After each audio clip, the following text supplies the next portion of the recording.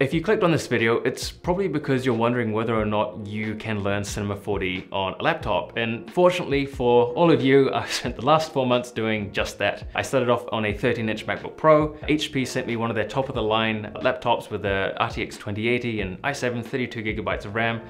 I'll tell you about what that was like. Then I went out and bought my own desktop PC and uh, this is kind of like a video summary of my experience all through all of that and uh, we'll answer some questions. Those questions are going to be, can you learn Cinema 4D on a laptop? My experience learning Cinema 4D on a laptop, so what are some of the things you're gonna run into, the problems, good, bad, rendering times, that kind of thing. Mac versus PC, that's very, very important. Uh, please stick around for that. It's a little bit technical, but if you're going and buying a laptop for Cinema 4D. This is very, very important. Also, desktop versus laptops for learning Cinema 4D and what kind of uh, implications you're gonna have to look out for when you're choosing between one or the other. So let's start off with the first one. Can you learn Cinema 4D on a laptop? Uh, absolutely, yes you can, no issues. If you've got a 13 inch MacBook Pro, much like I had, which was nothing special, it was a 2018, 2017 baseline thing, you can do the bulk of your learning on the laptop, no issues. This is because when you're learning Cinema 4D, first off, you're basically learning the concepts. You're learning modeling, lighting, texturing, dynamics, particles, animations, keyframes, the whole nine yards. You do not need a super powerful machine to learn Cinema 4D. So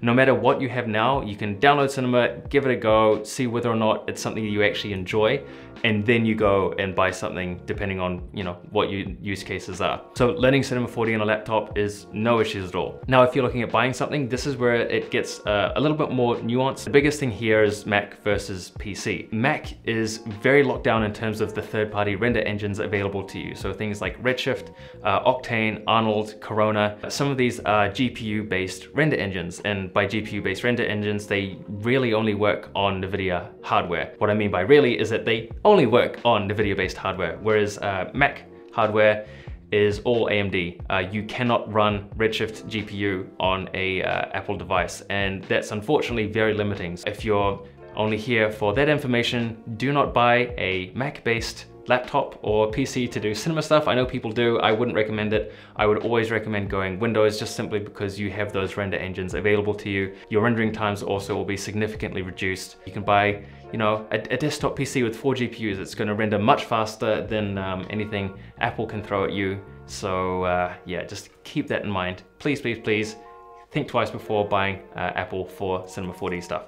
That's not saying you need to throw away your MacBook. Uh, to learn Cinema 4D, you definitely can. You can do some really cool stuff with it. But if you're buying something, uh, I would stick with Windows. Now I've got the Mac versus Windows thing out the way, let's talk about kind of uh, my context with Cinema 4D and my journey learning it so you kind of understand where I'm coming from. So I started learning Cinema 4D in October of last year and I started on a 13 inch MacBook Pro. As I mentioned before, that was more than capable to learn on. You can learn the basics, you learn kind of all the concepts around Cinema 4D and you know, kind of the things that will make you a good motion graphics artist. You can totally learn that on a laptop, whether that's Windows or PC based, uh, a lot of that stuff is the same. Cinema comes bundled in with a standard or a physical renderer, which com is compatible across Mac and PC. It's a CPU based renderer and uh, it works just fine. You can still do some really cool style frames. Um, I'll link a few tutorials uh, down below. You can see some work that uh, I've done, just kind of, you know, I'll interlace it in with the talking head kind of stuff. It's not gonna be the fastest thing in the world, but in terms of, you know, actually learning Cinema 4D, more than capable. It, you do run into issues when you have like a very complex scene. Say for example, you've got a cloner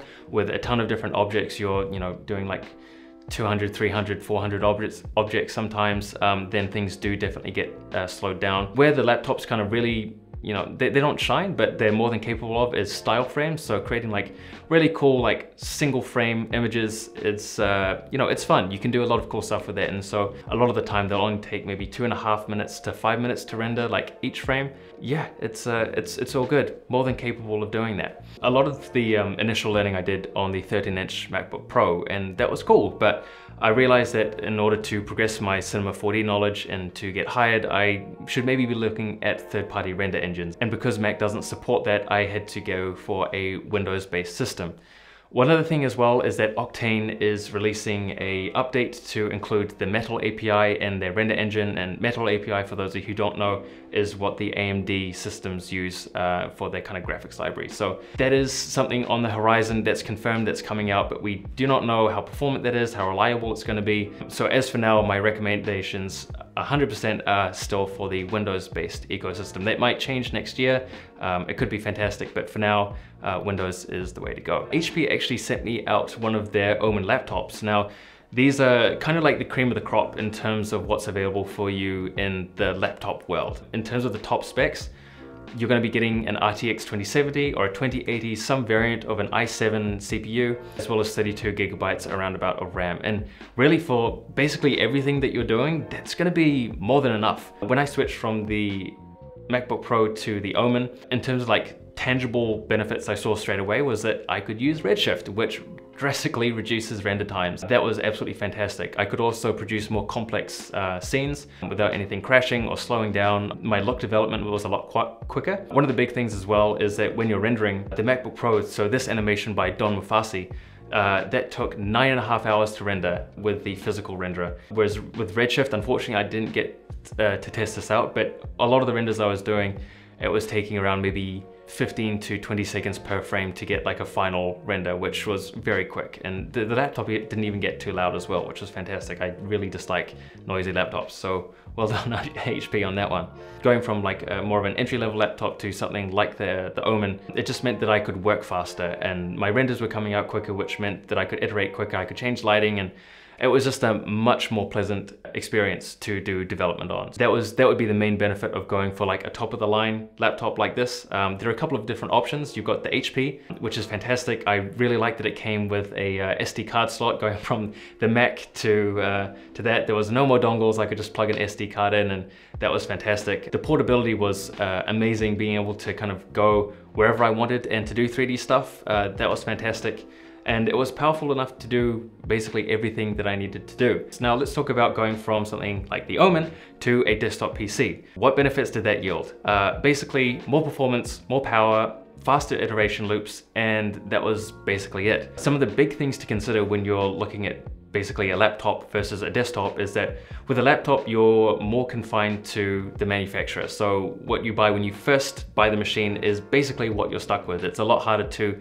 upgrade and scale with a laptop, whereas with a desktop PC, you can swap out the motherboard, you can add in another couple of GPUs and your power scales like that. There are a couple of caveats, for example, um, one particular use case uh, for laptops, which I very much enjoy, is basically when you use your laptop as your look development machine and then you send all your renders out elsewhere. So another popular YouTuber, I'm, I'm not popular YouTuber, but um, Andrei Lebrov, who is an amazing 3D artist, please go check out his channel. He does all of his work on a Razer Blade, and then whenever he needs to render out anything, he sends it to a render farm or uh, his PC at home. It's a very elegant solution and something I would definitely like to uh, work into my workflow at some stage in the future.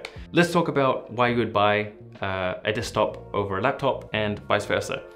Desktops are really for people who are going to be working in one location most of the time and they don't need to be traveling to clients or going to university. You can do all your work at home, no issues. Also somebody who's more value focused as well, you're gonna get better performance for your dollar on a desktop system as opposed to a laptop. For somebody who's wanting to scale that as well, obviously a desktop PC is going to be better for you because you can add in uh, extra GPUs or get a new CPU and more RAM and that kind of thing. You're not limited to the hardware provided to you by the manufacturer.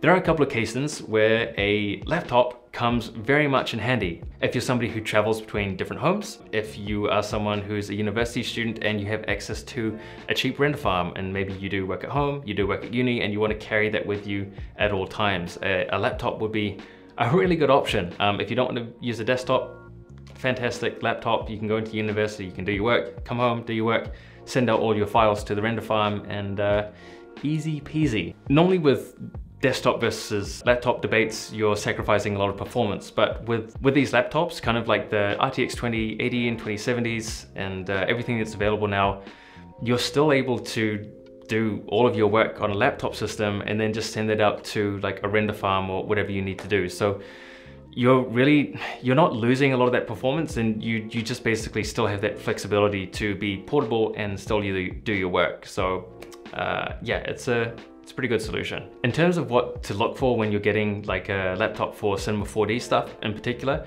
um, you're gonna want to have a lot of RAM, you're gonna want to have a fast storage device, and if you're doing GPU rendering with Redshift or Arnold or yeah, mainly I think Redshift, Arnold, Octane are the, the main GPU-based renderers. You're gonna want either a 2070 or a 2080 if you can afford it. So the laptop that HP sent out, this is a, it's an HP Omen 15DH00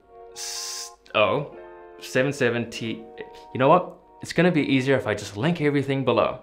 So my particular model came with a 32 gigabytes of RAM, it was an i7 processor, a 2080 uh, GPU, and a 144 hertz screen. So for me, it made a fantastic gaming machine, which was great. I did do some gaming on it. I was playing Star Wars The Fallen Order and that was fantastic, as well as doing all the cinema stuff as well. And um, for me, it worked very, very well. Uh, if I was to go and buy a, uh, a laptop for doing rendering, I would check out the HP Omen for sure. Razer Blade uh, also has a fantastic laptop. I really like the build quality of the Razer Blades.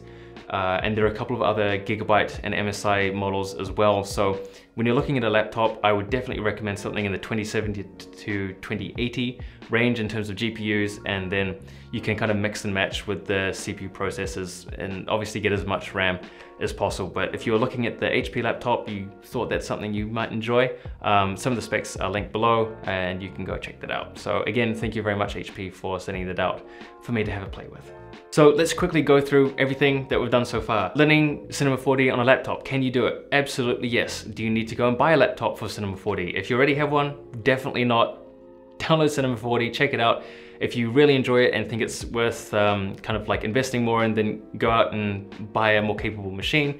Absolutely, but you do not need to do that just to learn Cinema 4D. Should you go for a uh, laptop or a desktop PC? Well, that really you know, it's a personal preference. It's what you really value out of a system. If you're more value conscious and you know that you're not gonna be, um, you know, moving around too much, then I would recommend a desktop. Uh, it gives you a lot more flexibility in terms of power, upgradability, you can do everything, a lot more things with a desktop PC.